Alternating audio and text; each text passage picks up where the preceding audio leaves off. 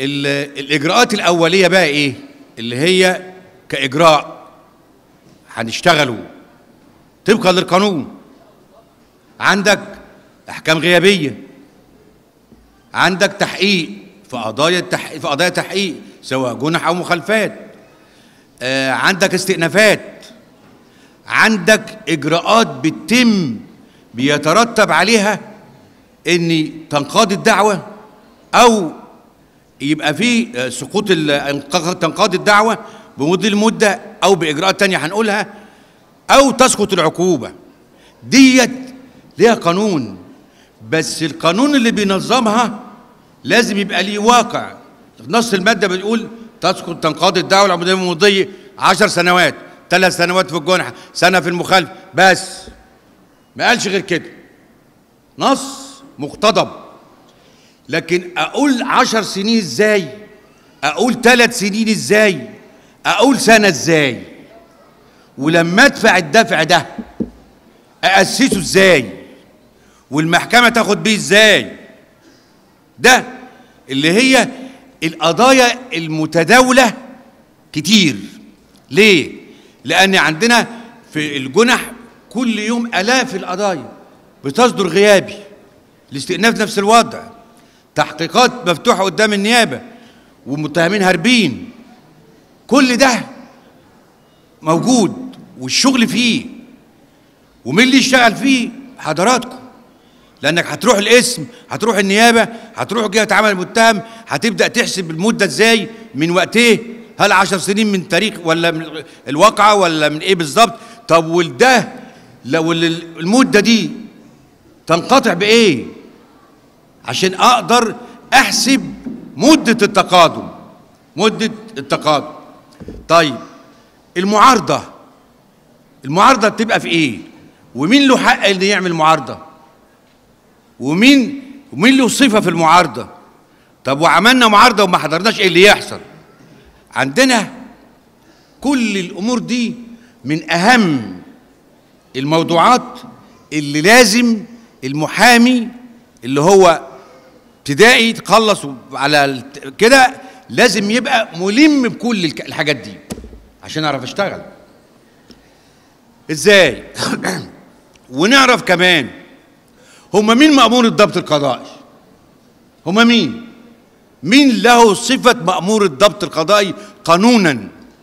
ومين بتفرض أو مين بيتم آه، اعطائه صفة مأمور الضبط القضائي بالرغم من إنه موظف. زي ده مثلا من أسبوع من شهر ما ومين الجهة اللي تمنح الموظف إنه يبقى له اختصاص مأمور الضبط القضائي؟ ومين هم مأمور الضبط القضائي على المستوى المحلي ومين على المستوى العام على مستوى الجمهورية؟ مين دول؟ ووظيفتهم إيه؟ من ده؟ ده أمور المفروض نبقى عارفينها عشان هنتعامل مع الناس دي كلها وهتبقى أنت محتك ومع حل سؤال لما يجي لك واحد يقول لي الإدارة عامة خدت ابني وما أعرفش راح فين. ما أعرفش رحت الاسم اللي إحنا تابعين ليه؟ قالوا لي مش عندنا. رحت المديرية قالوا لي مش عندنا. ومع إن الحكومة خدته فين؟ أنا ما أعرفش. ده ده كل ده ال- الواقع العملي اللي موجود. طيب نبدأ بقى نقول الأول مين هم مأمور الضبط القضائي مين؟ مين مأمور الضبط القضائي يا بهوات مين مأمور الضبط القضائي؟ ها؟ شرطة؟ أيوه مين يا بيه؟ مين يعني الشرطة؟ ما هي في شرطة مش ما صفة ما لهمش صفة مأمور الضبط القضائي. إيه؟ مالناش دعوه بالمباحث ولا الكلام ده كله. إحنا بنتكلم بصفة. المف... المفروض بقى حضراتكم خدتوا في الإجراءات الجنائية باب كامل على مأمور الضبط القضائي. ومن هم مأمور الضبط القضائي؟ واختصاصهم. ومين مأمور الضبط القضائي على المستوى العام؟ ومين مأمور الضبط القضائي على المستوى المكاني؟ كل ده ده ده أساس الإجراء. وده في كتاب الإجراءات الجنائية. وإحنا إحنا إحنا عارفينه من ساعة بس مارسناها بقى. هنا القانون قال بالنسبة للناس دي عددها على سبيل الحصر عددها. مين له صفة مأمور الضبط القضائي؟ عشان أنت لما تتعامل معاه تبقى عارف صفته إيه. مأمور ضبط قضائي ولا رجل سلطة عامة عادي. طيب هنا القانون حدد مأمور الضبط القضائي. قال أعضاء النيابة العامة ومعاونوها دول أصحاب الاختصاص الضبط القضائي الأصيل. هم دول. النيابة العامة النيابة العامة ومعاونيها. وضباط الشرطة وأمنائها والكونستابلات والكلام ده كله. دول مأمور ضبط قضائي. دول مأمور ضبط قضائي رؤساء نقط الشرطة. مأمور ضبط قضائي رؤساء نقط الشرطة مأمور ضبط قضائي العمد ومشايخ البلاد ومشايخ الخفراء دول من صف لهم صفة مأمور الضبط القضائي مهمة دي. العمد ومشايخ البلاد ومشايخ الغفراء دول لهم صفة الضبطية القضائية. لهم صفة الضبطية القضائية. طيب لما دول قلنا دول هنا بقى وإيه؟ نظار ووكلاء محطات السكك الحديد. دول لهم صفة مأمور الضبط القضائي. دول لهم آه، اختصاص مأمور الضبط القضائي اللي هو محطة السكة الحديد الناظر والوكيل وبتاع محطة السكة الحديد. وهنا بقى ولمدير أمن المحافظات خلي بالكم مهمة دي مدير الأمن. ومفتشين الداخلية. دول لهم اختصاص عام ومحل. ليه اختصاص عام بقى إيه؟ أنت عندك في مديرية الأمن بيبقى فيه مفتشين تابعين لوز- لل- للأمن العام في الداخلية. والمفتش ده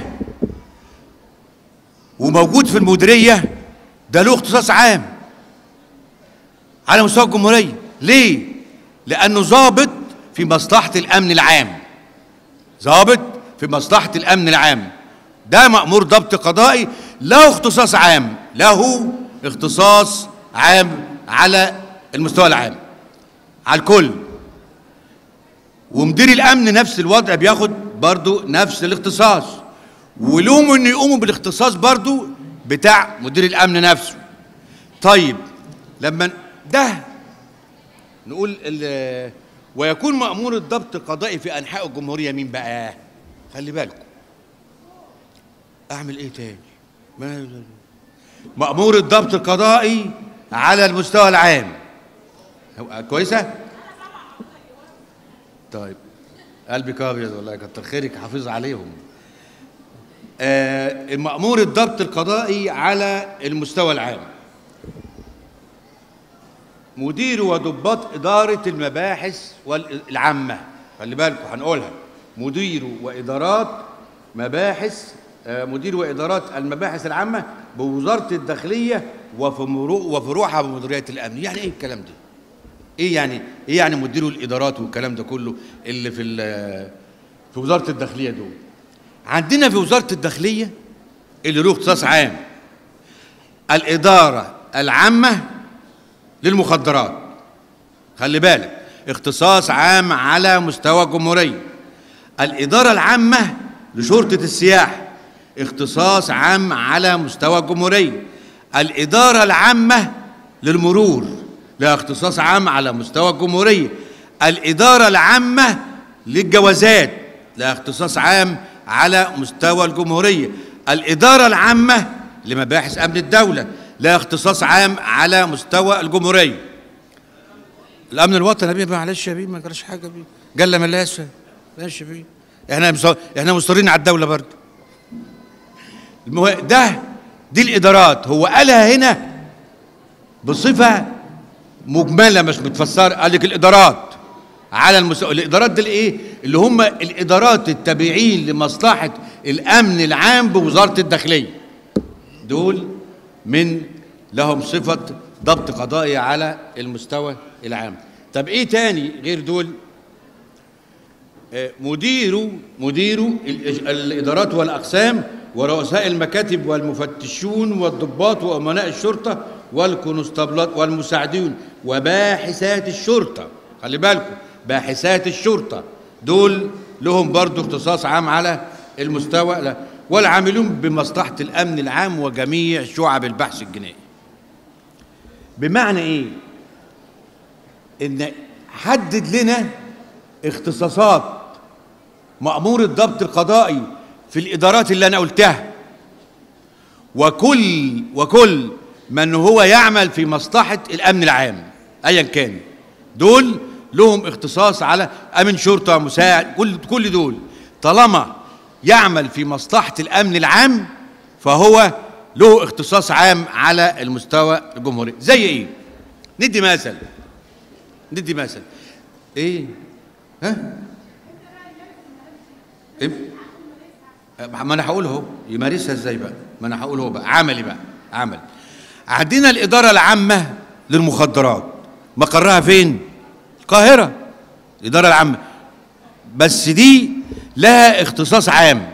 يعني من حقها. أنها تقوم بالقبض وتفتيش بناء على تحريات وبناء على إذن من النيابة العامة لضبط وتفتيش شخص ومسكن وملحقات مسكن والسيارة الخاصة بالمتهم. كل ده المقيم في أسوان. ها؟ خلي بالك بقى المعلومة إيه؟ الواقع أهو. يعني الإدارة العامة هنا هتاخد هتعمل تحريات أو جالها معلومات أو جالها مصدر سري قال لها إن في تشكيل عصابي في قرية النوبة تبع كذا بيقوموا بالإتجار في المواد المخدرة والآثار ويتخذون من السيارات ارقام أرقام كذا وكذا. ملاكي أسوان آه لترويج وتوزيع المواد المخدرة على العملاء كما أنهم يحتفظون يحتفظون بمساكنهم وملحقاتها بكمية كبيرة من المواد المخدرة والآثار. جريمة م... جريمة. تحريات آه إذن. بياخد الإذن منين بقى؟ هو ياخد الإذن ممكن من هنا من المحامي العام الأول. ياخد الإذن من المحامي العام الأول لنيابه لاستئناف أسيوط. ياخد الإذن من المحامي العام لنيابة آه أسوان الكلية. بياخد إذن له هنا.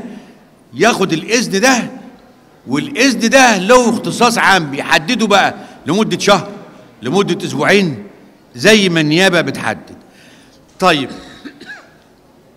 لما ينفذ الإذن ويتم الضبط والتفتيش وبعد كده يتم ضبط المتهمين وضبط المخدرات والأسلحة والذخائر والكلام ده كله. هيعمل إيه بقى؟ ويواجه المتهم ويقول له ما مواجهة شفاهة. في محضر الضبط يقول لك مواجهة المتهم شفاهة. اعترف أو أنكر. اعترف بحيازاته للمواد المخدرة بقصد الاتجار واعترف بحيازاته للأسلحة بقصد الدفاع عن النفس. أه ده الضابط اللي بيكتبه على لسانه ومواجهة المتهم بما تم قرر كذا. يعترف يأنكر.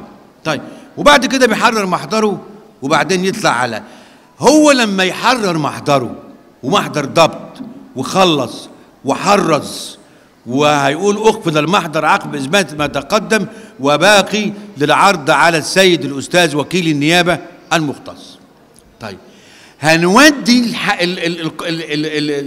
التشكيل المتهمين دول بمضبوطاتهم الواقعه دي هوديها اسم في اسوان ولا هجيبها هنا في القاهره مع ان القائم بالضبط له اختصاص عام على المستوى الجمهوريه هل هجيبها هنا واعرضها في القاهره ولا اعرضها فين بالظبط ولا اعرضها في اسوان خلي بالكم مهم قوي دي ها؟ هنعرض فين يا أستاذ؟ في أسوان؟ محل الواقع.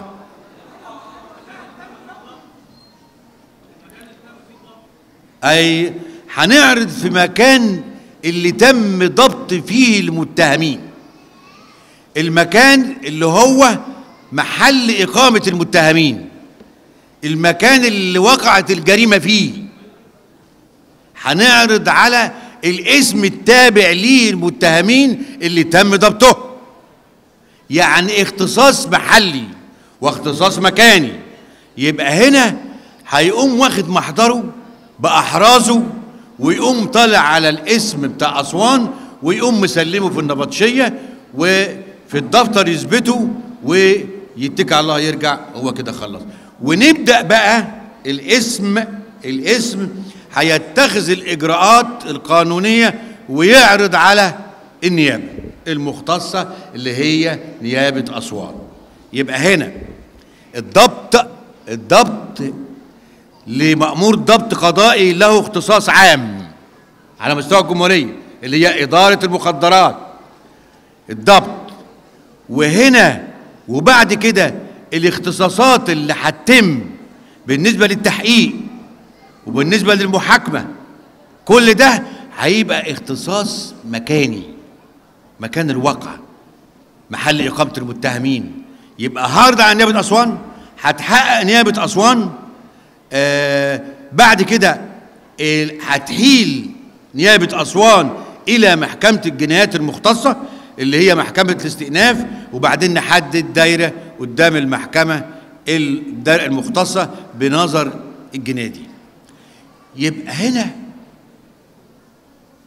الواقع ده عملي. طب هل هل لما أجي النيابة بتحقق هنا في الواقعة دي يبقى بتحقق واقعة الضبط وبتحقق واقعة التحريات بالرغم من إن الضبط تم بمعرفة مسؤول الإدارة العامة لمكافحة المخدرات على مستوى الجمهورية؟ بس ده إجراء ضبط. ده إجراء ضبط. لكن وقعه الضبط وتحقيقها وبيان مدى صحتها من عدمه وبيان كفاية الأدلة التي تؤكد على صحة الواقعه وعلى صحة إجراء الضبط وعلى جدية التحريات هي النيابة العامة اللي هي في أسوان. الله. ده كده. يبقى امال إيه؟ امال إيه اختصاص الضابط ده؟ اختصاص الضابط ده اختصاص حدده القانون. برضه حدده القانون. وقال لك ليه اختصاص محدد؟ بس هذا الاختصاص منوط بيه ان بتحققه جهة التحقيق المختص اللي هو مكان الضبط. يبقى هنا نيابة أسوان اسم شرطة أسوان محكمة جنح أسوان اللي بتنظر بتنظر الحبس الاحتياطي محكمة جنايات أسوان اللي بتنظر الجناية طبقا لقانون الإجراءات يبقى إذا الواقعة برمتها كلها بتنظرها الجهات صاحبة الاختصاص المكاني اللي نص عليها قانون الإجراءات. اللي نص عليها قانون الإجراءات. عدا القائم بالضبط. عدا القائم بالضبط. اتفضل.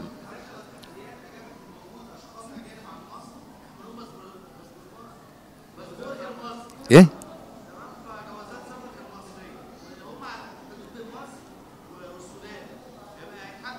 هنقول يا بيه هنقول هنقول. والقانون ما سابش حاجة مني هنا لما لما لما لما نخلص دي بقى ويبدأ القضية نقول خلصت وبدأنا طيب. يبقى هنا مأمور الضبط القضائي صاحب الاختصاص في الواقعة دي اختصاص عام. اختصاص عام. يقف دوره عند واقعة الضبط ومواجهة المتهمين بها وتحريز المضبوطات وتسليمها لاسم الشرطة المختص. هنا يقف دوره وبعد كده يبدأ دور اسم الشرطة اللي هتتخذ الإجراءات وتحيل على النيابة العامة والنيابة العامة هتبدأ تتخذ اختصاصاتها وتبدأ تحقيق وتحريز بعد الفض وبعد الوزن. وبعد كده النيابة هتتخذ إجراءاتها كلها بقى زي الاختصاص العادي بالنسبة لأي واقع تبع أي اسم. وخلي بالكم الاختصاص المكاني يترتب عليه بطلان آه. كلام الاختصاص المكاني ده ما- فيش فيه ما فيش فيه اجتهاد. ما فيش فيه اجتهاد خالص. الاختصاص المكاني ده ما فيش فيه اجتهاد.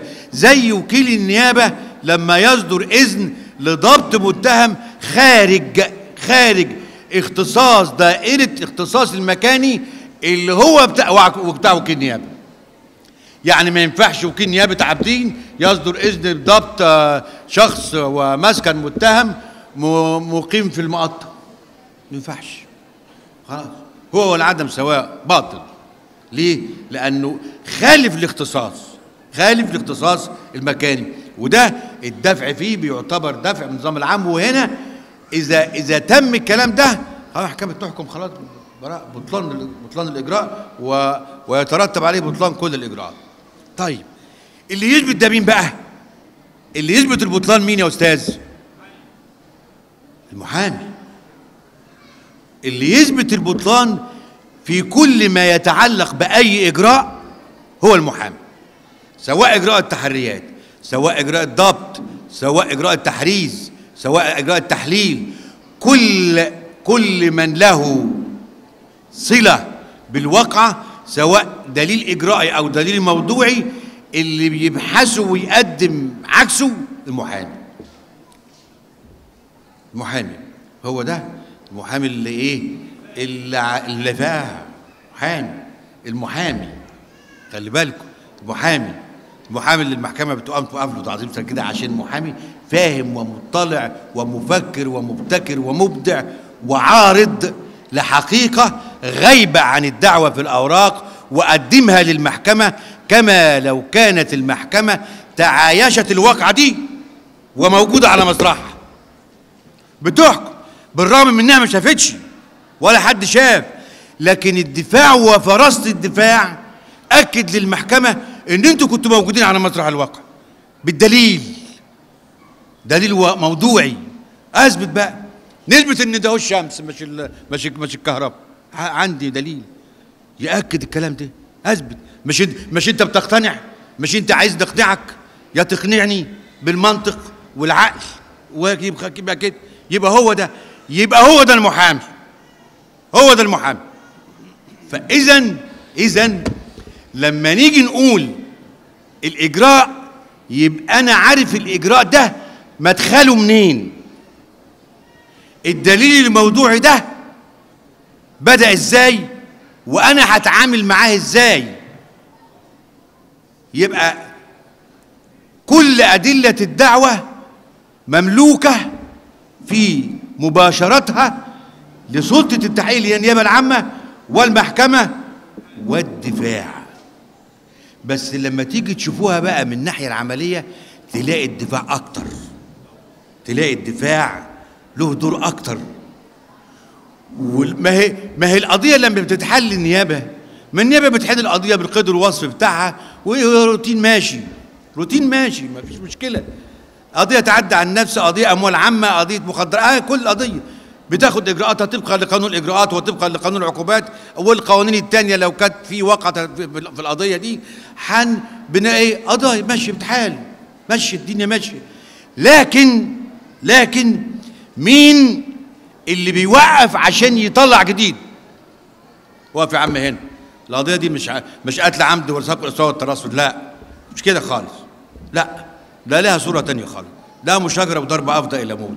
ده قضية قتل عمد بس. ده ما فيش فيها اقتران ده كده. الله انت هتعمل إزاي كده؟ آه. ما أمال المحكمة هتحكم على إيه؟ أيوه. المحكمة بتحكم في الآخر على دفاع المتهم. المرئي والمسموع والمكتوب. ألا ما هو هنا بقى الفيصل. ولذلك قالوا إن المحامي مبدع والقاضي مرجح. آه القاضي مرجح. وإحنا مبدعين. مبدع ليه؟ لأنك أنت مبدع لصورة واقعة لم تحملها الأوراق. دي مش موجود فيها.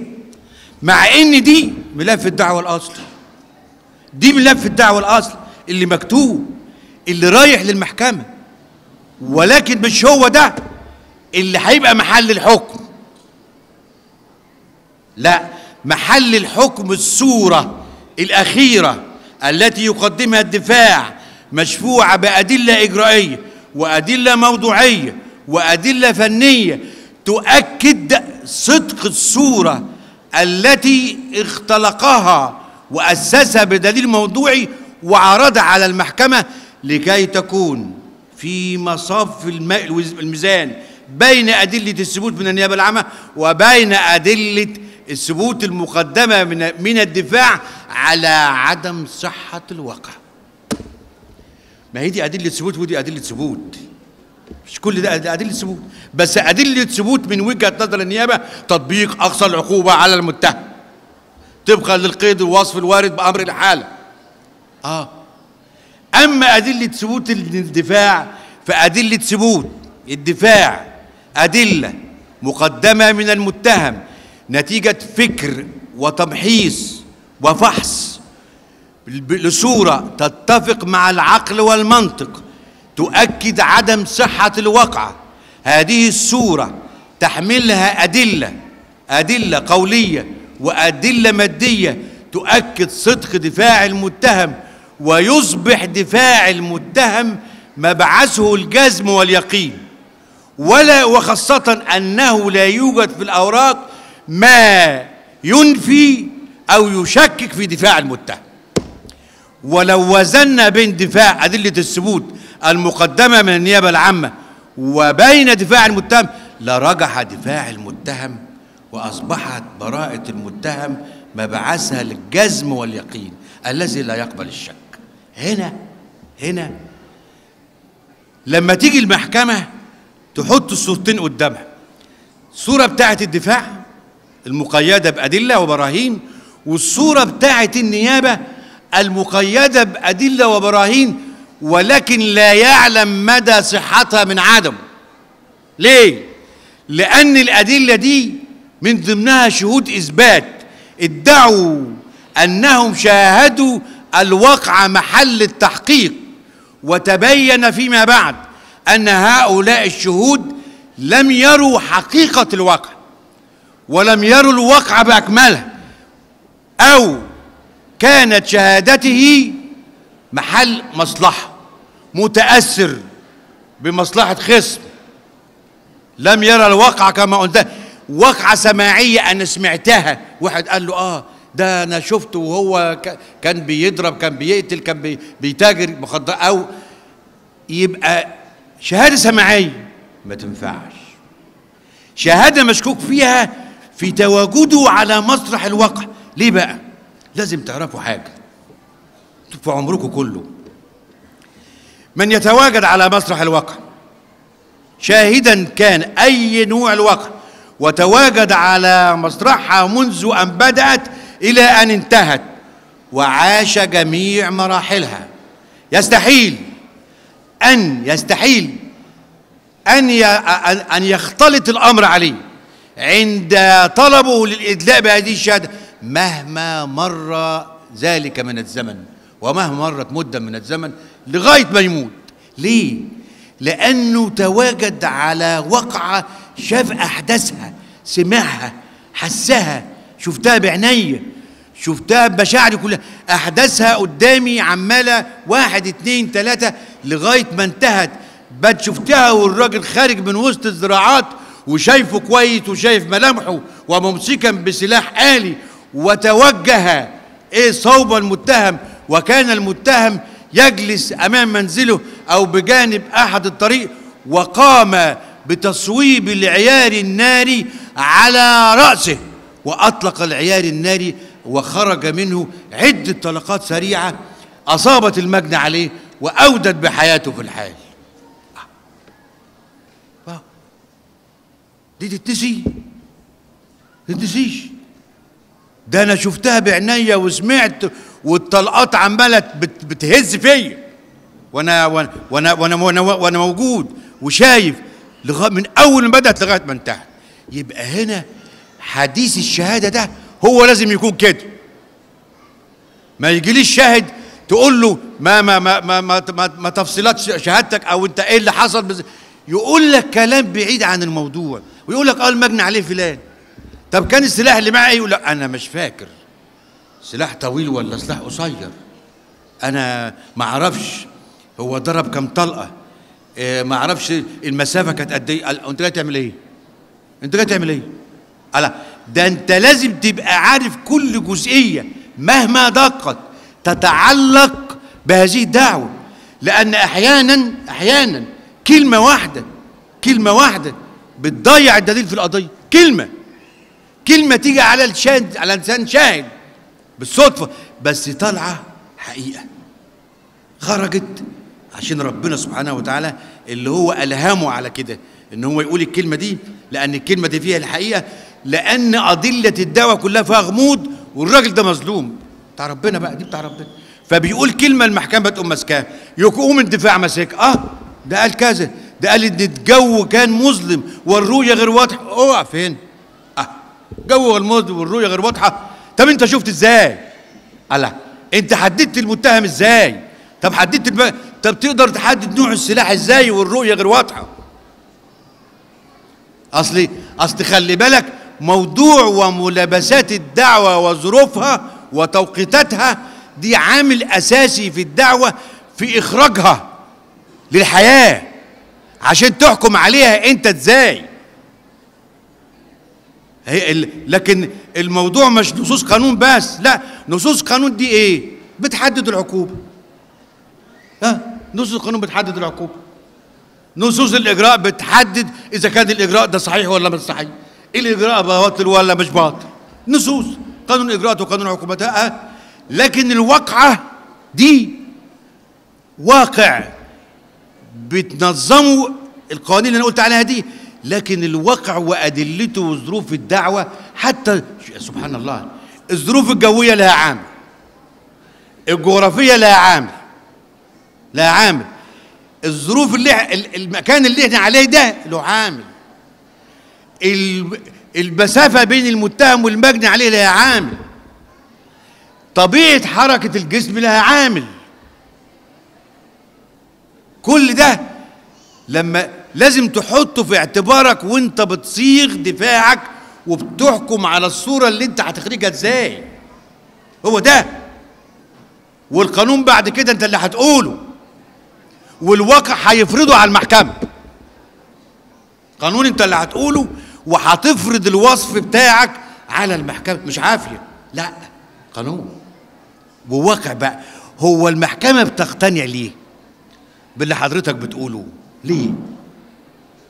لأنك أنت لما أنت عرضت صورة جديدة للواقعة وأيدتها وشفعتها بأدلة موضوعية تؤكد صحة الواقعة المحكمة بتشوفها قدامها. آه بتشوفها قدامها تشوفها قدامها وتبدأ تقتنع.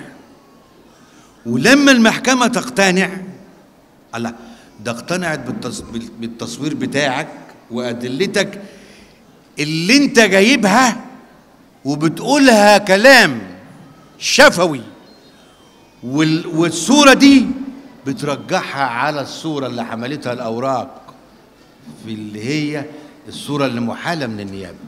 أولا ده عشان إحنا نوصل لده حضرتك يبقى أنت بقى في الوقت ده ارتقيت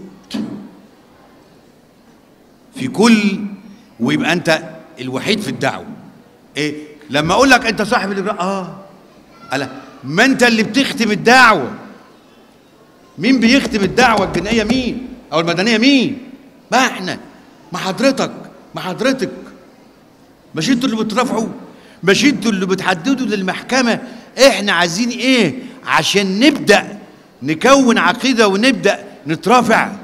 مش بتطلبوا كده؟ مش بتطلب شاهد؟ ايا كان الشاهد. مش انت اللي بتحدد إمتى هتترافع؟ ألا مش انت بحكم الواقع والقانون انت السيناريو بتاع القضية في الآخر. آه. واللي هو صاحب السيناريو الأخير ده اللي هيختم بموضوع يتعلق بحياة بني آدم من أخطر ما يكون. ليه؟ موضوع مش سهل ده. إحنا لما موضوع يكون معروض قضية قتل والنيابة مقدمة ظروف مشددة وطالبة طبقا للقيد المواد الاتهام إحالته للمفتي انت بقى انت بقى حضرتك كدفاع علشان تقدر بينك وبين نفسك تشوف دورك إيه وتشوف مكانتك إيه وتشوف قيمتك إيه وتشوف شخصيتك إيه في الموضوع ده. مع نفسك كده بقى. شوف انت هتعمل إيه. شوف انت هتغير إيه. طب إيه بقى رأيك لو انت نجحت في انك انت عدلت القيد والوصف الوارد في أمر الإحالة المقدم من النيابة العامة والتي طلبت فيه تطبيق مواد الاتهام ومواد الاتهام تقضي بإعدام المتهم. وفاضل على الحكم بتاع المحكمة حكمت المحكمة. وانت بقى حضرتك جيت ترافع بتترافع وجهزت وجهة نظرك قلت لا ده أنا بدفع بانتفاء كافة الظروف المشددة في الدعوة دي من سبق إصرار وترصد واتفاق واشتراك ومساعدة واقتران وإن الواقعة دي دي مشاجرة تعددت أطراف وظروف الواقع يستحيل معها تحديد شخصية المتهم. ما هو أنت بقى حضرتك بحثت وجبت ما يفيد لما الشاهد قال إن الرؤية كانت واضحة؟ ما إحنا إحنا بنشتغل شغل إيه؟ انت جبت بقى ما يفيد. واستندت إلى دليل مادي. واستندت إلى واقع موجود. أثناء ارتكاب الواقعة دي إن الرؤية ما كانتش واضحة. مش واضحة. آه الرؤية مش واضحة. الرؤية مش واضحة دي بيترتب عليها الحديث في كل أدلة الدعوة. يبقى لا وح وهتثبت بقى بالدليل القاطع إن دفاعك ده صح. واحد اتنين تلاتة. طب لو حضرتك ثبتت للمحكمه إني الرؤية أثناء ارتكاب الواقعة كانت غير واضحة وإن الواقعة كانت في مكان في مكان محيط بالزراعات الكثيفة محيط بالزراعات الكثيفة والساعة كانت كذا بعد المغرب. ومفيش أعمدة إنارة. ومفيش أعمدة إنارة. يبقى هنا حديثك في حديثك في عدم الرؤية أمر يستند إلى واقع مادي ملموس. وهتجيب شهادة من الجهة المختصة إن مفيش أعمدة إنارة في المكان ده. خالص. الله. ده العصر بتبقى الدنيا ضلمة. الدنيا بتبقى مش الواحد مش شايف. لأن المنطقة محيطة بالزراعات الكثيفة والطويلة وبتحجب الرؤيه لأن في زراعات بتبقى ما تقدرش تخش فيها لأن الرؤية مستحيلة لكثافة الزراعة. طب أنت بقى ثبتت الكلام ده يبقى هنبدأ نتكلم في إيه بقى الظروف المشددة اللي النيابة احالت المتهم بيها وقالت إنها ثابتة طبقا لأقوال الشهود المتأثرين ببعض الأمور في الإدلاء بالشهادة. حد شرف حاجة؟ كلنا بشر وكل ابن أشر ابن ابن آدم خطاء. والنهاردة أنا أنا عرفني فين؟ إن الراجل اللي بيشهد ده راجل بيشهد شهادة حق قدام ربنا عارف عقوبة الشهادة إيه وخايف بينه وبين ربنا خايف من ربنا. فيقول الحقيقة إن شاء الله يكون حتى إيه مش مشكلة. يبقى لما انت حضرتك تثبت دي بقى وتبدأ تتناول الظروف المشددة دي ظرف في ظرف. وتنتهي إلى عدم تواجد وانتفاء كافة الظروف المشددة. يبقى وبعد ما تخلص بقى دي يبقى انت نفيت جميع الظروف المشددة عن الواقع. آه. كده بقى نبدأ نشتغل في الوسع المساحه بقت قدامك واسعة. ليه؟ لأنك أنت لغيت الظروف المشددة اللي هي دليل قاطع صعب.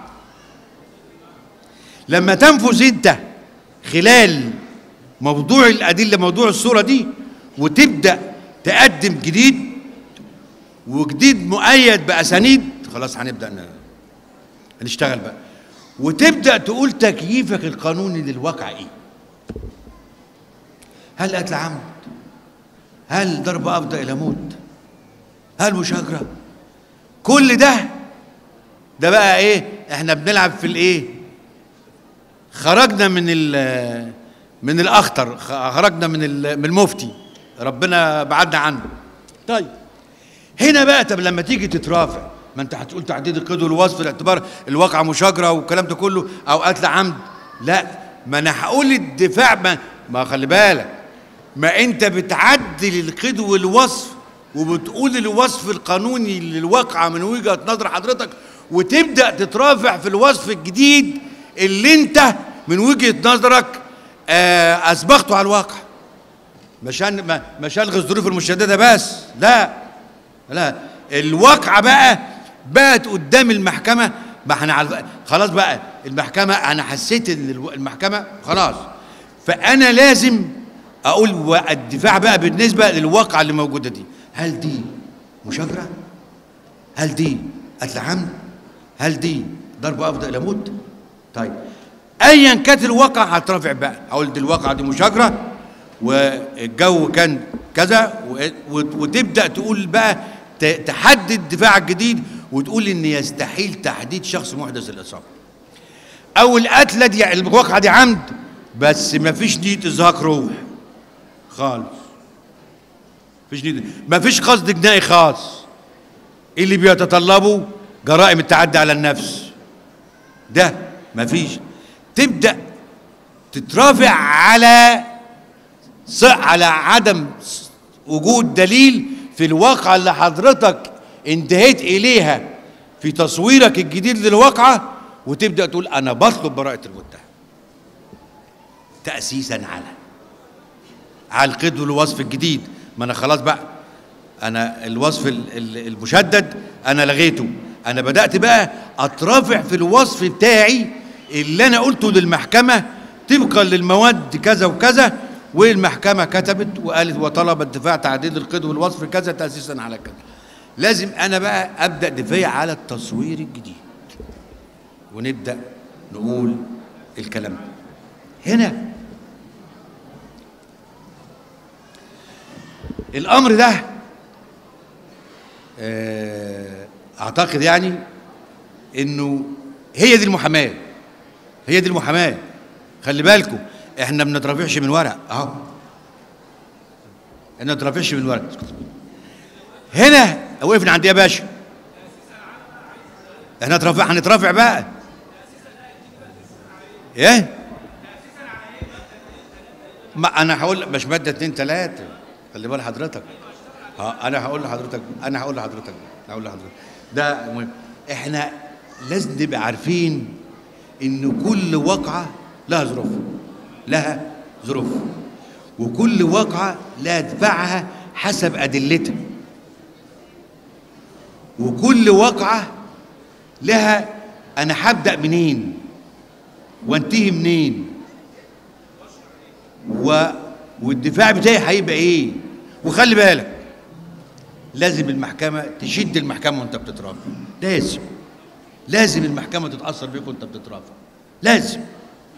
لأنك انت بتشوف تأثير المحكمة من مرافعتك.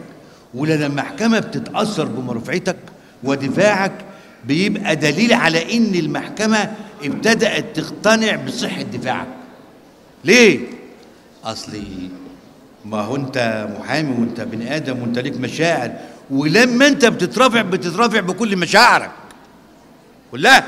كل مشاعرك بتت... كل مشاعرك بتتحرك مش بتتكلم بتتحرك. إيدك بتتحرك عينيها بتتحرك جسمك لما اتحرك في عرض دليل معين بيبقى الحركة دي دليل بيخلي المحكمة تحطها في اعتبارها ليه؟ الله. ما هو زي أنا بعمل المحكمة بتعمل. ما هي المحكمة عندها مشاعر. المحكمة ب... وإيه؟ و... وال... والقاضي لا يقضي وهو غضبان. ما ينفعش. ولا هو متأثر بعاطفة من العواطف. ولا هو متأثر بأي حاجة خالص. لا يقضي وهو غضبان. القاضي مرتبط بواقعة ودفاع.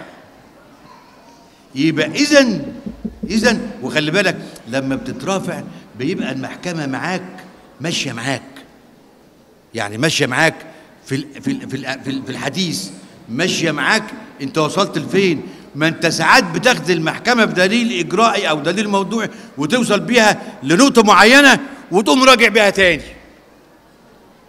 وارد لما ترجع بيها تاني مش بتكرر. لا ده انت بتأكد وبتطمن على إن المحكمة هي فين معاك.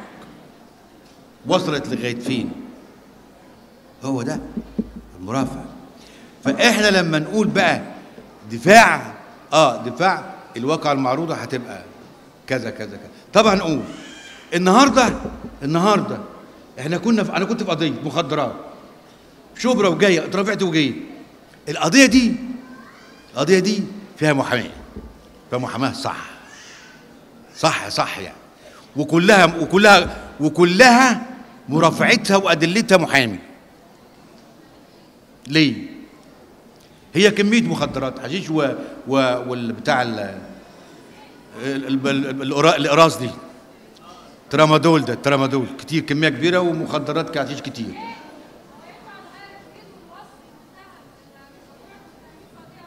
آه. ما هي ما هي واقعة الاتهام واحدة. إلا نفترض متهم معترف. بس أحيانا خلي بالك لو متهم معترف وبتوصلي لتغيير القيد والوصف ويمكن يكون اعتراف المتهم ده دليل على عدم صحة القيد والوصف ده. ده حاجات موال كبير يعني. في الاعتراف خلي بالك الاعتراف ده مش مش دليل يعني لا الاعتراف سيد الأدلة والكلام ده لا لا لا قال. ده الاعتراف ده ده إجراء إداري يعني. محكمة مد... الاعتراف ممكن يكون وليد إكراه معنوي أو إكراه أدبي. أدى إلى تأثير على المتهم ووضعه تحت ضغوط نفسية.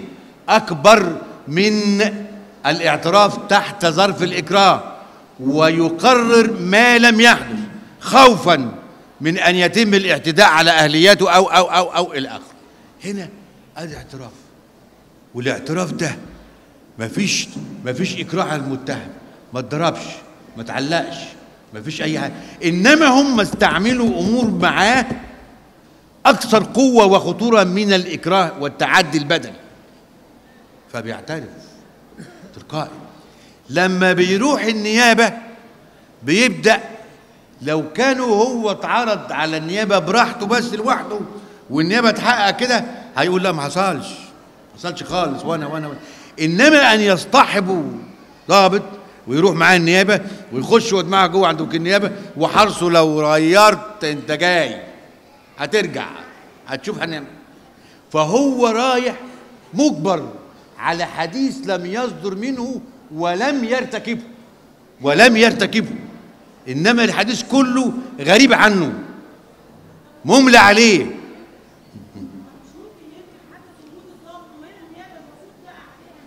هقول هقول ما أصل إحنا أحيانا النيابة بتبقى مع مع مع آه. آه آه. إنما بقى لو حاضر محامي لو حاضر محامي بس هم في التوقيتات دي بيعرضوا المتهم في وقت ما فيش فيه محامين ووقت النقابة فيها مغلقة عشان المحامين روحوا ويوم جمعة ويقول لك أصل إحنا تعذر وجود لأن النهارده يوم جمعة والكلام ده كله. مع إن المفروض يعني مع إنما هو خلاص الأمر كده. بس خلي بالكم ربنا سبحانه وتعالى بيوصل إن الحق برضه لازم ما المحكمة تيجي تحقق الاعتراف. خلي النيابة مشت المحكمة تيجي تحقق الاعتراف. لأن العبرة بالتحقيق الموضوعي الذي تجريه المحكمة. وأن العبرة في تحديد القيد والوصف القانوني هو القيد والوصف الذي تسبغه المحكمة الجنايات اللي هي محكمة الموضوع على الواقعة وليس بالقيد والوصف الوارد لها من النيابة العامة عرفنا دي؟ ها؟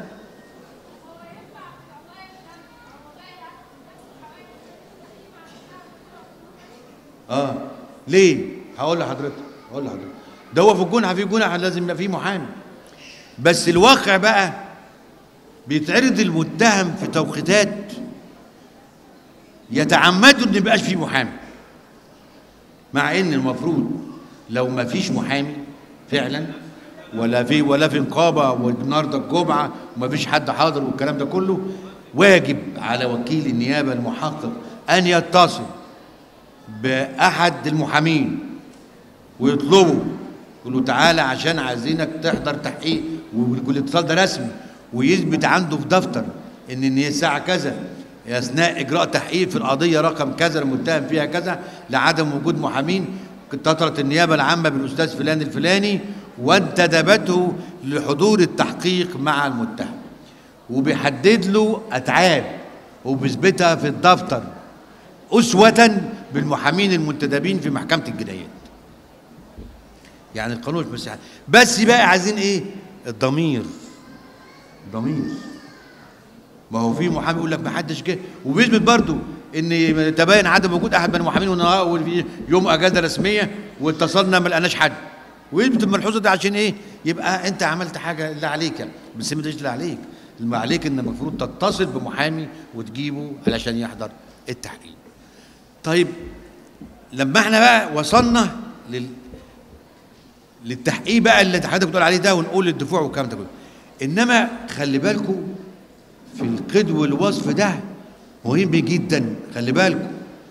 ايا كانت الواقع تعدي على النفس أموال عامة مخدرات ايا كانت الجريمة. فالقيد والوصف اللي هو اللي المحكمة هتمر بيه واللي اللي هتصدر للمحكمة والمحكمة هتحكم بيه القيد والوصف الذي تسبغه النيابة المحكمة على الواقع. يعني المحكمة لما تلاقي قضية مخدرات محالة من النيابة لأن المتهم فلان فلان الفلاني وفلان الفلاني كونوا تشكيل عزل وأحرزوا وحازوا آه مواد مخدرة وأقراص مش عارف إيه بقصد الإتجار. خلي بالك بقصد الإتجار. وأحالت لكده والنيابة حققت على بأنها الحيازه دي بقصد الإتجار.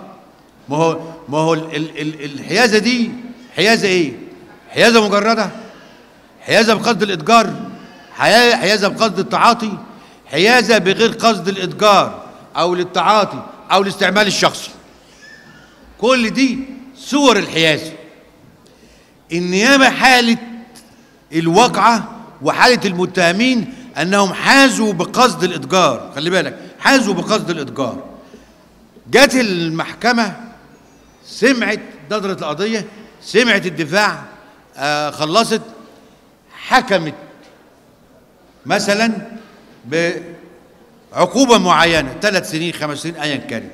وجت كليه وهي بتستعرض الواقع وحيث أن وحيث أن المحكمة لا تساير النيابة العامة في القيد والوصف الذي أسبغته على الواقع وأن الواقع لا لأنه خلت تماما من تواجد ظرف الإتجار أو شروط ولم ولم ولم يوجد المتهم ان هو يتعامل بالمخدرات أو توزيعها على المهم ولم يوجد أدوات مثل ميزان أو ادوات التقطيع أو أو أو ولكن الواقع ترى المحكمة أنها حيازة مجردة بدون قصد الاتجار أو التعاطي أو الاستعمال الشخصي. يبقى المحكمة عدلت الواقع من حيازة بقصد الإتجار إلى حيازة مجردة أو إلى حيازة بقصد التعاطي. هنا أو ممكن بقى المحكمة تعدل الواقعه من قصد التعاطي لقصد الإتجار. الله ده كده بتعدل للاشاد بتعدل للاشاد يبقى هنا يجب على المحكمة أثناء نظر الدعوة وكونت عقيدة ورأي أن الواقعة دي مش زي النيابه ما حالتها ده الواقعة دي بقصد الإتجار. أثناء نظر الدعوة تقوم المحكمة تعمل إيه يجب إنها تنبه المتهم وتثبت في محضر الجلسة الاستبيان والمحكمة عدلت القيد والوصف من حيازة بقصد التعاطي إلى حيازة بقصد الإتجار. وتقوم وتثبت كده في محضر الجلسه ونبهت على الدفاع. ونبهت على الدفاع. ليه؟ لأن أنا بعدل لإيه؟ للأشد. لكن لكن لو أنا بعدل للأخف مش مهم. ما هو لمصلحة المتهم. مصلحة المتهم. مش مشكلة. ولكن إذا كان للأشد فيجب إن أنا أثبت في محضر الجلسة إن القيد والوصف كذا وانبه كده ونبهت المحكمة على الدفاع بالقيد والوصف الجديد. الله. وبعدين تبدأ أنت دفاعك بقى. هتبدأ أنت ممكن تطلب من المحكمة التأجيل علشان أجهز دفاعي على القيد والوصف الجديد اللي المحكمة عدلته لأن أنا جاي اترافع على إن دي تعاطي. فالمحكمة تجيبك لطلبك. فده اللي إيه ده ده بقى اللي ده المحاماة. مش نصر ده, ده المحاماة. ده ده ده الايه ده الواقع. ده اللي إحنا هنعمله. طيب. طب لما نقول بقى ده مبدأ ليه بقى؟ خلي بالك. لا يضر الطاعن بطعنه. خلي بالكم اربطوا بقى الكلام ده بالإجراء اللي بتعمله المحكمة. الله. طب لما المحكمة تعدل بالقيد والوصف للأشد القانون قال لا.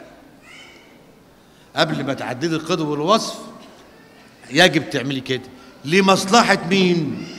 لمصلحة المتهم. ليه؟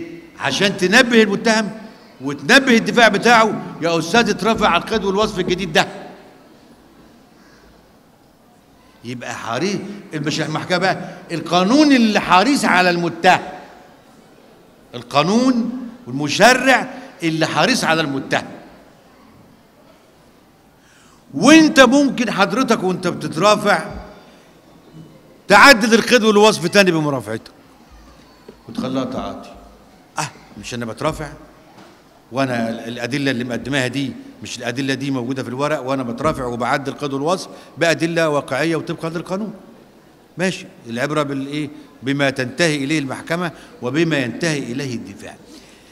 لما نيجي نقول إني ال- لا يضر الطعن بالطعن إزاي الكلام ده بقى؟ لما تيجي يا أستاذة نعمل معارضة في حكم غيابي مين له حق التقرير بالمعارضة؟ من له الحق بالتقرير في المعارضة؟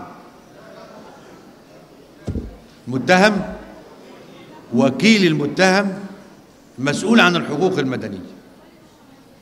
ده لهم حق في التقرير بالمعارضة. طيب المعارضة بقى أنا أعرف إمتى إن أنا أنا قد يكون إن أنا أعرف إن أنا خدت حكم غيابي وأروح أعمل معارضة. وقد يكون إن أنا جيت الجلسة والمحامي بتاعي قال لي ما تحضرش الجلسة دي يعني هنسيبها تاخد غيابي أما نشوف المحكمة هتعمل إيه. ده واقع موجود يعني واقع موجود.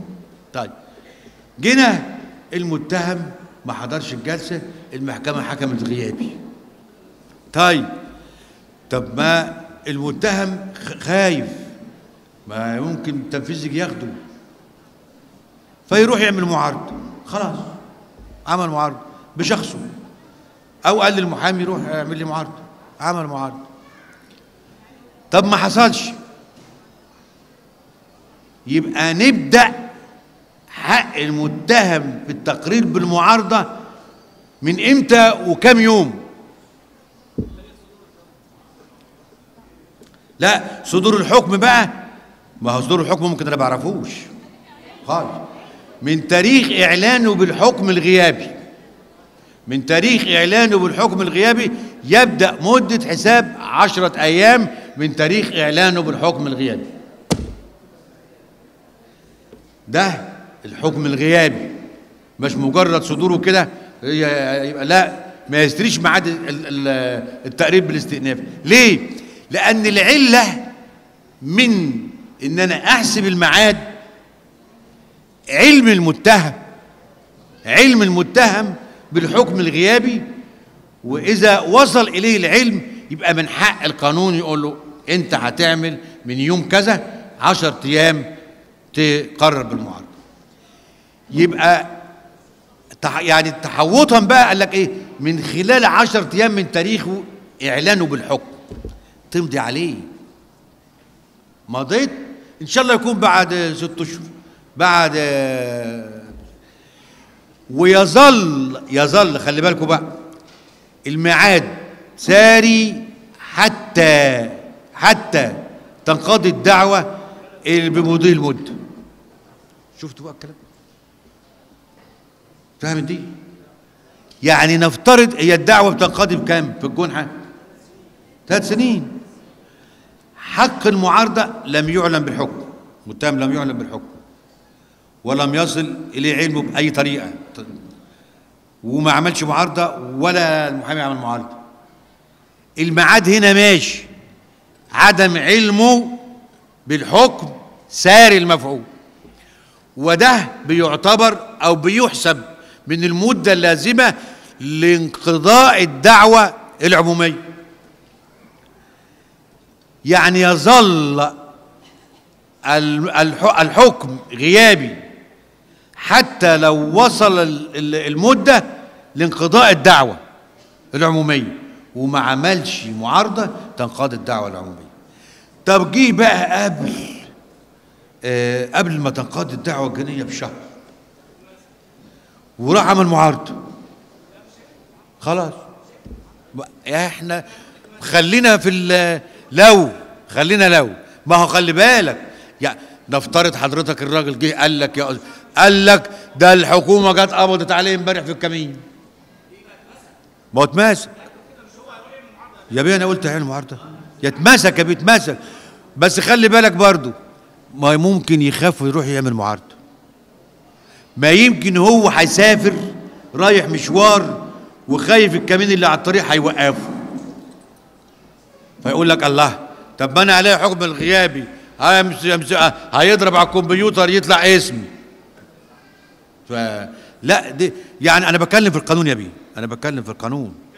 أنا بتكلم في القانون عموما مش بقول على حد. أنا بتكلم في القانون يبقى احتاط لي ده واحتاط لي ده في القانون. بتكلم في القانون. نعم.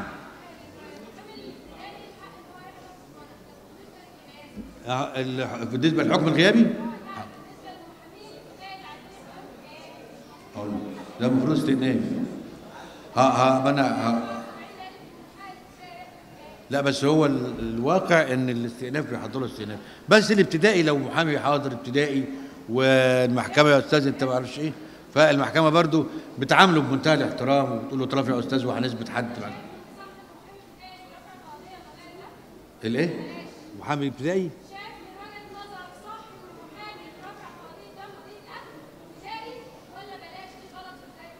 والله يا أستاذة أنا هقول لحضرتك حاجة.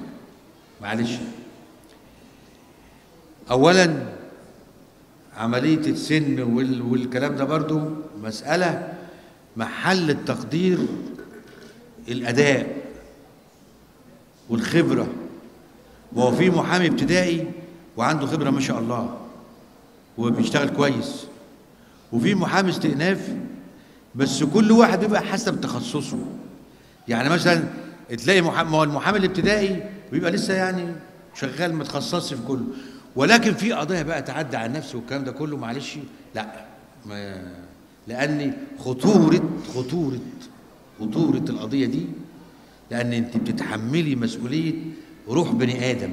روح بني آدم. بني آدمين. أنا بتكلم بصفة عامة لابد في القضية يعني تبقى أنت موكلة عن واحد. بتتحملي مسؤولية روح بني آدم. ودي مش صعبة صعبة جدا جدا جدا. ويعني ما ال ال الحديث فيها بحساب والكلام فيها بمنتهى الدقة. والتفكير فيها بيخرجك عن عن الدنيا خالص خالص. فالأمر ده بيبقى صعب شوية. وهقول لحضرتك حاجة. ما في محامين ما في محامين برضه نقد وبيروح له واحد في قضية قتل بتاع يقول له والله يا أستاذ معلش أنا في الموضوع ده ماليش فيه قوي ودي مسؤولية وممكن تروح لمحامين من اللي هم بيشتغلوا في الحاجات دي. ده عنده ضمير. ما يتحملش المسؤولية دي. لو هياخد أتعاب الدنيا بحالها خالص. مسألة المحاماة فيها خلي بالكم محاماة فيها فيها رقي فيها ذاتية فيها ضمير فيها يعني سيبكم اللي بتقال ده اللي بيسمع واللي لكن لكن المحاماة فيها فيها فيها مبادئ ما حدش بيجي ناحيتك كله بيحافظ عليك كله بيحافظ عليه. لا لكن كل فئة فيها يعني كده وكده. آه طيب لما نقول بقى معارضة. طب الم- الم- المتهم عمل معارضة وما حضرش. معارضة. ها؟ بعد إيه؟ ما خل... هو عمل معارضة؟ هو آه لا هو عمل معارضة في الحكم الغيابي و... وعارض لجلسة كذا. يعني عارف تاريخ الجلسة المحددة النظر للمعارضة. جه بقى ما حضرش جلسة المعارضة. يبقى المحكمة بتقول إيه؟ اعتبار المعارضة كأن لم تكن. طيب. يعني طب إحنا المعارضة كأن لم تكن. الحكم ده هيعمل فيه إيه؟ هنستأنف. هنستأنف الحكم المعارض فيه لأن المحكمة قالت اعتبار المعارضة كأن لم تكن. يبقى حكم حضوري. اعتباري فخدنا هنستأنف الحكم. هنستأنف الحكم في خلال قد إيه؟ عشر أيام. اوعى تتأخر. لأن أنت عارف تاريخ الجلسة وأنت اللي مقرر بالمعارضة ومفيش حاجة يعني محدش هيعلنك. لأن القانون بيقول كده. فهنا يبقى حساب. الاستئناف عشر أيام من صدور الحكم في المعارضة باعتبار المعارضة كأن لم تكن طيب خلصنا ده. نعم طب إحنا النهارده الم- المعارضة دي المعارضة دي في أنت لازم تعرف لأن أنت اللي هتقعد جنب ال- ال- ال- الاستجراج بتاع التنفيذ وهيطلع الدفتر وأنت هتقعد جنبه وهتمليه بيانات المتهم ورقم القضية وهتمضي لو كان أنت معاك توكيل والقصة دي يعني بتاع بتاعتنا يعني. انت بتعمل إيه في المعارضة؟ في دفتر في في المحكمه في النيابة الكليه في النيابة الجزئية والنيابة الكلية. في التنفيذ اسمه دفتر المعارضه ودفتر الاستئناف. بس دول اللي في في النيابه في النيابة الجزئية. في الدفتر ده فيه تقارير بالمعارضه فيه اسم المحكوم عليه فيه رقم القضية آه، فيه تاريخ الحكم فيه رقم الحصر في ال... وحضرتك وفي بيقول لك تحدد بيكتب كده الجلسة تحدد نظر الجلسه دي يوم كذا. وتمضي حضرتك المتهم المحامي اللي بتمضي معاك توكيل بيثبت توكيلك وبتمضي على المقرر بالمعارضه خلاص. وعرفت الجلسة وهتجيب ال- المتهم بتاعك. طب المتهم عمل كده نفس الإجراء. طيب لو المع... لو الم... لو المسؤول عن الحقوق المدنية هو اللي عمل معارضة. هيعمل معارضه في إيه؟ هيعمل معارضه في إيه؟ المسؤول عن الم... المحكمة الجنح حكمت. مثلا بإيه؟ بحبس المتهم 15 يوم مثلا و... وحكمت بالتعويض مثلا آه 100 جنيه أو 200 جنيه. وهو كان طالب قد كده في مبلغ قد كده. طب المحكمة لما حكمت هنا المسؤول عن الحقوق المدنية لما يجي يستأنف. خلي المحكمة ادت براءة. ويجي يستأنف بقى المسؤول عن الحقوق هيستأنف إيه بالظبط؟ أيوه هيستأنف الشق المدني الدعوة المدنية. فقط لا غير فقط لا غير لأن الدعوة الجنائية بتاعت المتهم. طب لما يجي المتهم يستأنف حكم إحنا قلنا المدعي المدني المسؤول عن الحقوق المدنية هيستأنف الشق المدني. هيتك- هيطعن في الحكم اللي هو قضى بالتعويض. طب لما يجي المتهم يستأنف بقى الحكم اللي هو العقوبة هيستأنف إيه؟ برافو عليك. هيستأنف الحكم الشق الحكم الجنائي والحكم المدني. هيستأنف الاثنين لأن لما تيجي المحكمة بتحكم تقول إيه؟ حكمت المحكمة حضوريا ببراءة المتهم من الاتهام المسند إليه ورفض الدعوة المدنية وإلزام رافعها بالمصروفات.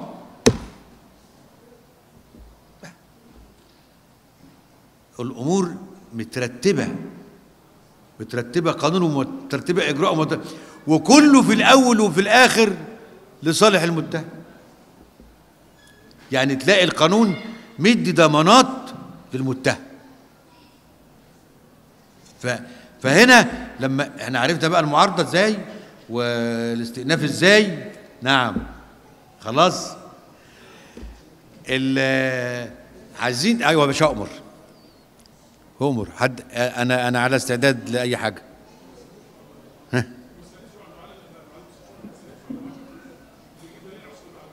بعد العشر أيام؟ آه بص يا ال ال ال ال خلينا في القانون. وخلينا في العرف. خلينا في العرف. خلينا في العرف وخلينا في القانون. والقانون والعرف مكملين. لما نيجي بقى عمر يا باشا. آه. مين اللي أجل؟ آه ماشي. ماشي. آه. آه. وما حضرش. آه. يعني يعني المتهم حضر وطلب طلبات؟ تمام. آه. آه. حضور اعتباري. حضور اعتباري. إيه؟ استنى يا بيه بس. استنى هقول لك بيه هقول لك والله. هقول لك. هقول لك برضه هقول لك على اللي انت بتقرصه برضه. هقول لك انت بتقول هنا. اتفضل يا بيه.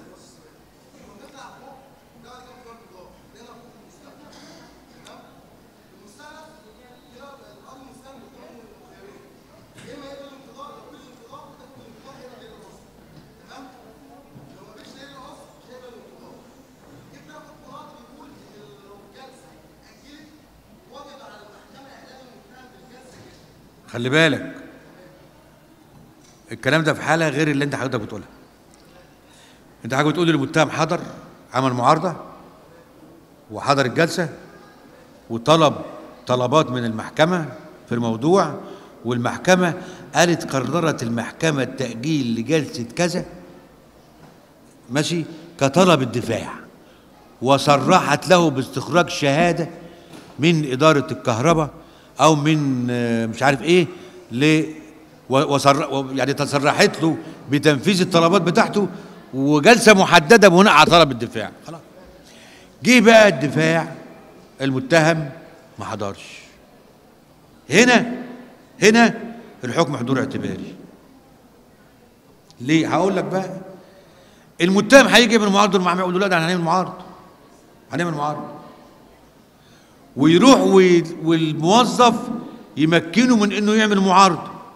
يقول له لا أو مش لا يخش الموظف المحامي لو كان يقول له إزاي؟ ده المتهم ما جاش وما كانش حاضر الجلسة الأخيرة وبتاع والكلام ده كله. فكله بياخد على إيه؟ ما حضرش. بس ما حضرش إيه؟ ما هو في أنت ما تحضرش. وعدم حضورك ده ضدك. وفي أنت ما حضرتش. وعدم حضورك ده لمصلحتك. بالقانون. طيب.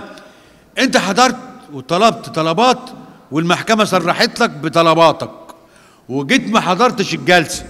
خلاص. مالكش حاجة عند المحكمه ولا لكش حاجة عند القانون. طيب المحامي هيقول له تعالى نعمل معارضة ده الحكم غيابي. لسه برضه الدنيا الحكم غيابي. فهيطلع للموظف يقول له يا أستاذ ده المحكمة يقول له لا أنا هخش له النيابه يخش له النيابه يقول له آه، أنا المتهم بتاعي ما حضرش والحكم غيابي بالنسبة له وإحنا عايزين نعمل معارضة. هو وكيل النيابه برضه مش عارف يعني إيه حضور اعتباري ويعني إيه ويعني إيه ويعني إيه. لا ده هو أغيابي. طب هنمكنك يا أستاذ مكنه يا أستاذ ما تقول مكنه من المعارضة. هيجي يعارض هيجي يعارض المحكمة. هات يا ابن محضر الجلسة محضر الجلسة في قرار المحكمة.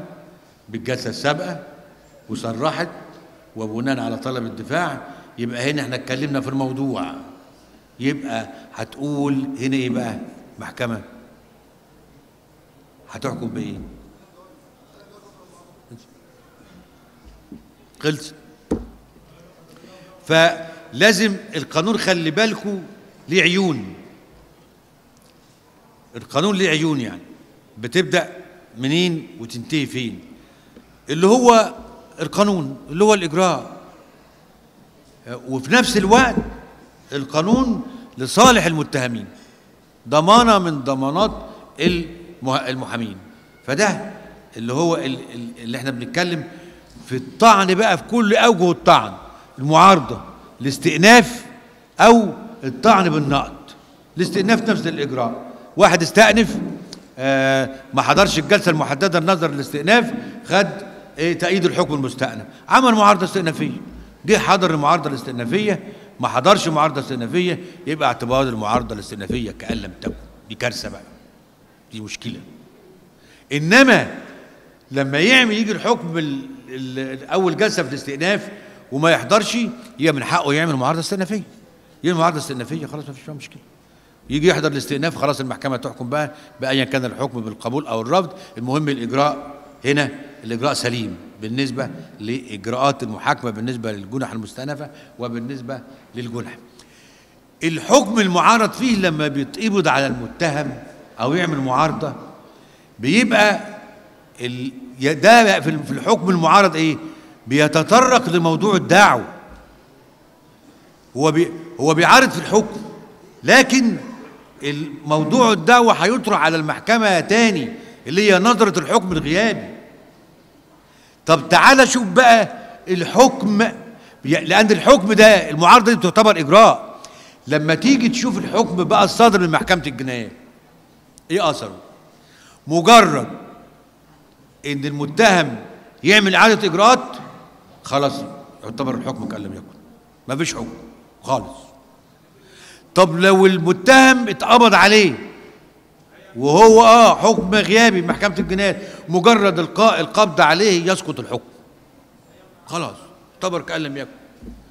ويعمل إعادة إجراءات والمحكمة تنظر الدعوة من جديد خالص لأول مرة تنظرها.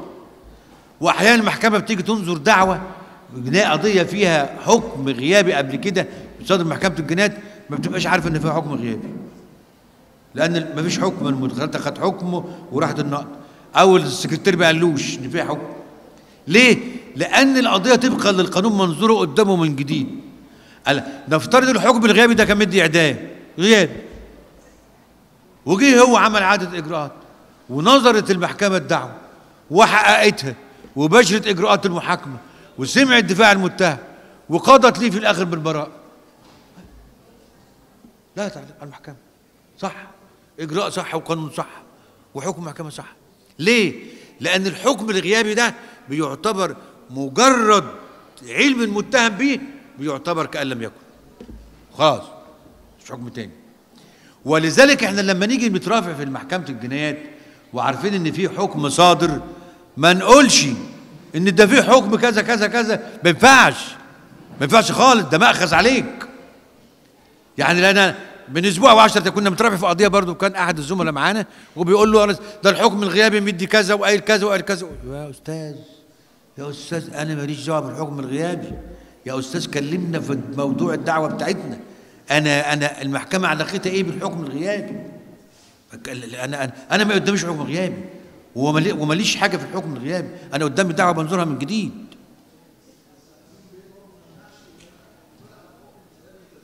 ده أنت تصوره يا بيه. ما بص بقى بص يا بيه لأن صح برضه.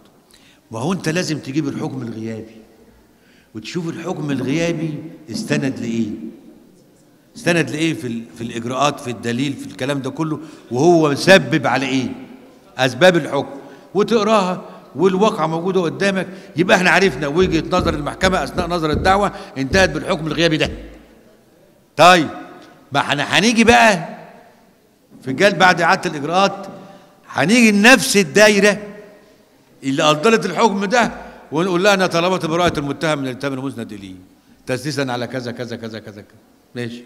كلام صح وحقك وتسمعك وتحقق دفاعك وتديك براءة ولا لا يا بيه لا. لا يا بيه إزاي؟ إزاي؟ إزاي من يسمع الكلام ده ده الدنيا كانت خير لو ما فيش ناس بتسمع الكلام ده إزاي؟ لا. خلي بالك حاجة خلي بالك خلي بالك ها؟ آه.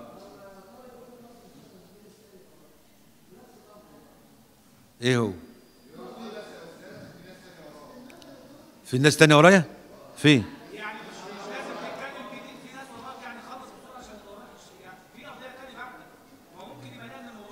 هقول هقول لحضرتك. لا لا لا هقول لحضرتك. ما هو بص يا صح انت بتقول صح. نفترض بس يا أستاذ ما هو أحيانا أنت بتيجي تترافع.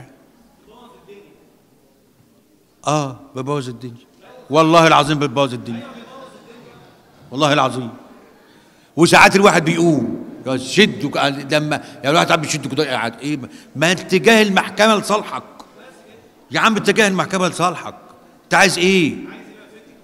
يعني عايز عاي- عايز تعمل إيه؟ إشهار للجمهور؟ ما هو خلي بالكم في ناس بترافع للجمهور. في ناس بتترافع للجمهور والله. و... و... بس المحكمة بعيد. لكن اللي ما إحنا بنقول إيه؟ المحامي بيختلف عن القاضي وعن النيابة والكلام ده ليه بقى؟ لأنه لماح وذكي. وانت لازم تبقى محامي ناجح لازم تبقى عندك قوة ذكاء خارقة ولماح قوي للجهات اللي انت بتتعامل معاها. ما هو أنا ابص للمحكمة اعرف اتجاهها إيه؟ أعرف لازم أعرف اتجاه المحكمة إيه. طب المحكمة عايزة تأجل. بس ما ينفعش المحكمة تقول لك يا أستاذ إحنا هنأجل النهارده. ما ينفعش. ده المحكمة. ومفترض إن المحكمة قارية القضية وحافظة القضية وجاهزه لك عشان تترافع. وبالعكس أنت لما تطلب تقول لك إيه يا أستاذ؟ ليه؟ شهود إيه اللي أنت عايزها؟ طب ما الشهود آه، أقوالهم موجودة في التحقيق وأمر الإحالة. طب أنت عايز إيه؟ لازم دايما المحكمة حريصة على الفاصل واللي بيأجل الدفاع. وما ينفعش إن المحكمة تقول لك أنا أجلت عشان لا ما ينفعش. إلا في حالة واحدة.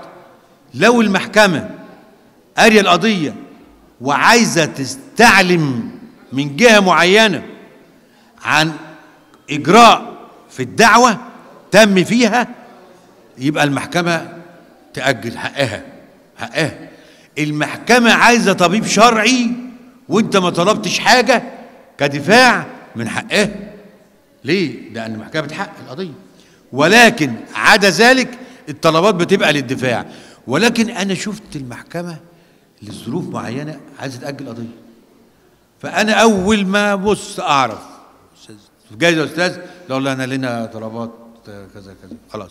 طلباتك إيه؟ كذا. بس. آخر الجلسة. ماشي. كده. هنا يبقى أنت في انسجام بينك فكري بينك وبين المحكمة. أنت أنت عارف ذهن المحكمة وعقيدة المحكمة. أنت عايزة إيه؟ أنت نفس الوضع. فهو ده بقى اللي بيحصل بين المحكمة والدفاع بصفة عامة في الدوائر الجنايات. بيبقى المعاملة بتبقى محترمة على قدر على قدر التصرف بتاعك والشخصية بتاعتك. ودول مع يعني بيبقوا بيحترموا الدفاع جدا جدا جدا جدا. وأي طلب وخلي بالك معاملة وتقديرك قدام الم- الموكلين وتقديرك قدام الجمهور وتقديرك وأنت داخل. وطلبك لو أنت لو أنت مثلا زي انا إحنا حضرنا الجلسة النهارده. طب أنا عايز أجي المعهد. طب أنا لو قعدت استنيت دوري مش هلحق. فأنا طلبت الصبح إيه القضية؟ قلت رقم كذا 14 رول. أنا مطلوبه عشان عندي ظروف كذا كذا كذا.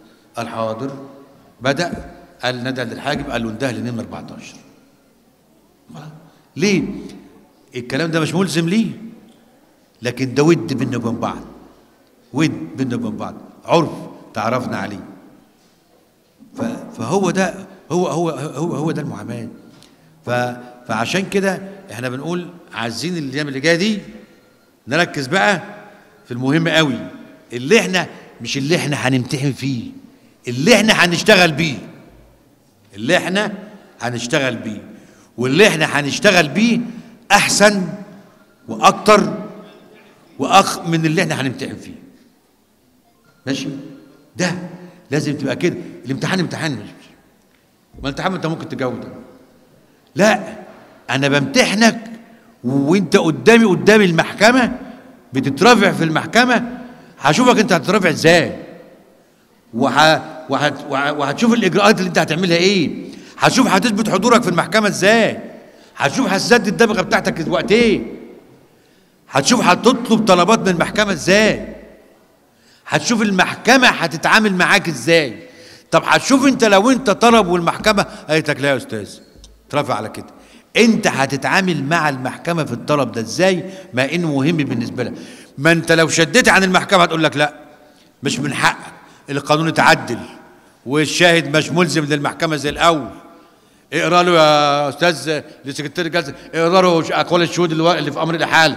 خلاص يا أستاذ. وخلاص لازم تلتزم للقانون وتترافع. ومش محكمة مش هجيب لك طلباتك. في حالة تانية بقى. لو انت محامي بقى بينك وبين المحكمة ود إجرائي.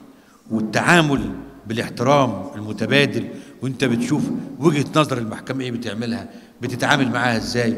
لو طلبت منك طلب وقالت لك أستاذ ترافع معلش تترافع. لو قالت لك هنخلي القضية دي لآخر الجلسة حاضر.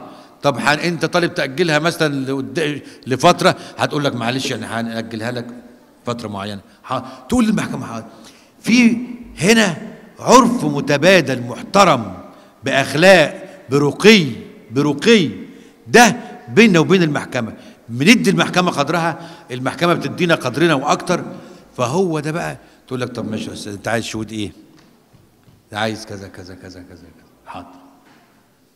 ليه؟ السبت اللي فات ده أهو حصلت معايا أنا. وكان عندنا أنا أهو معهد.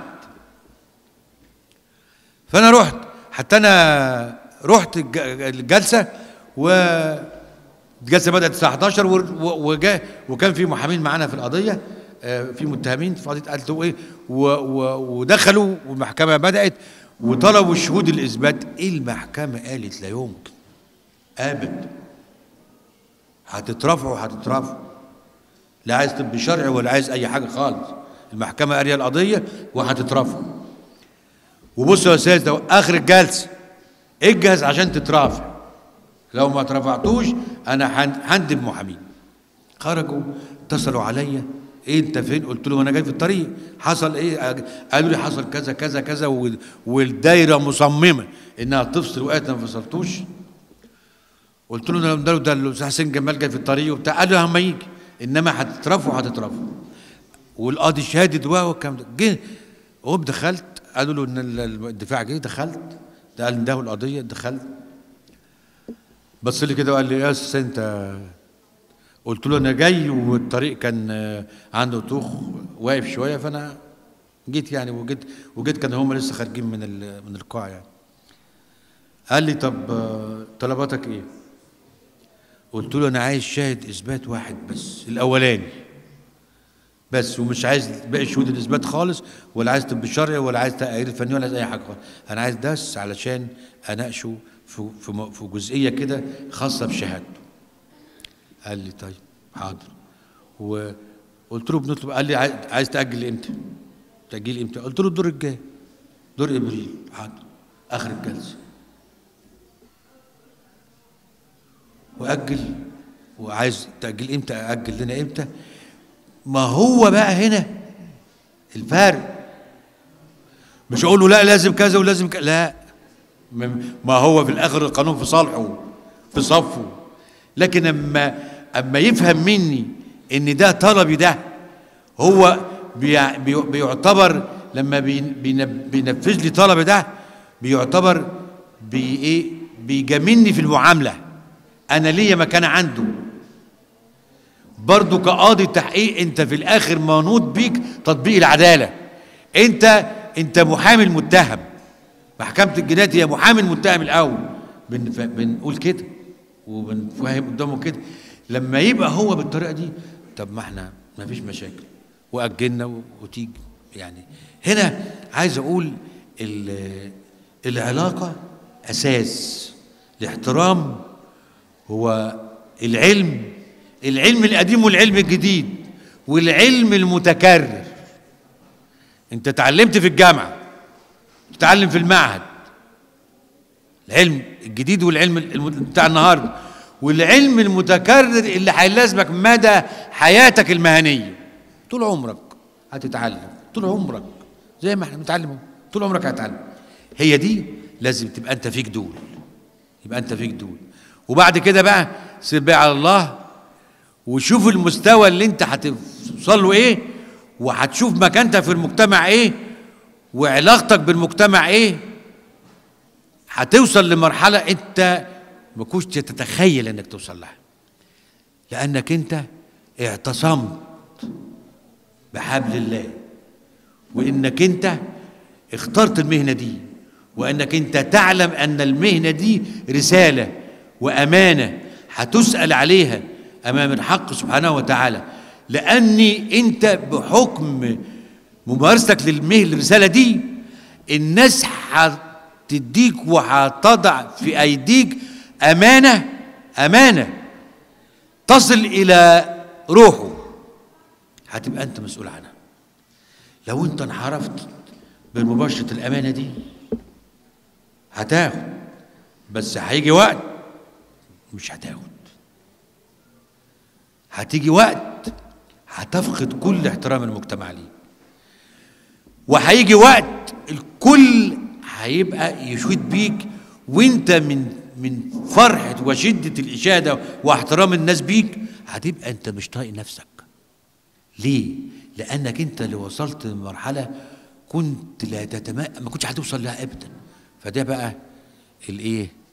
اللي بيزيدك تواضع في كل مراحل حياتك اللي جاية ويجي لك رزق بقى لا تعلم من أين أتى. وشكرا وإلى اللقاء إن شاء الله في المحكمة.